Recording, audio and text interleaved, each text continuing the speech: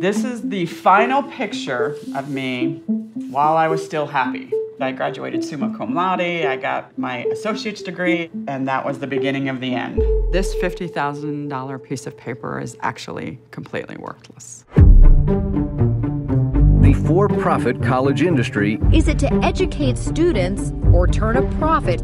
I'm, you know, nervous. Like, it's a college interview. The guy comes out, real sharp dressed, nice suit, big watch. And he takes out a list of all the places I could get a job. Well, how much is it? He's like, you know what? You don't have to worry about the price. There's student loans for all this stuff. You get a job, you'll be making all this money. What you're getting is worth gold. You don't have to worry about the price.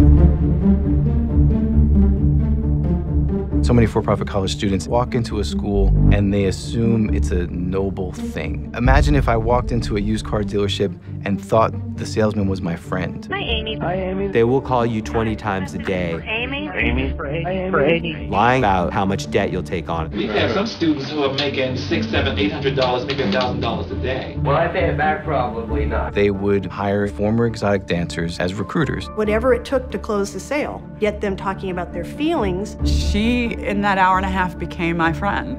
then you could manipulate them to say, well, how are you going to fix it?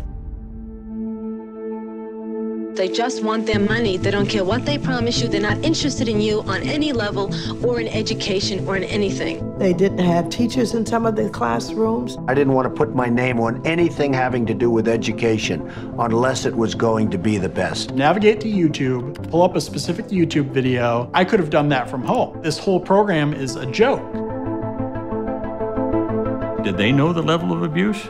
Absolutely. This wasn't a rogue employee, and this is how the company taught its employees to act. These students were getting terrible education, taking on huge debt. Even if they graduated, they didn't have the skills they needed.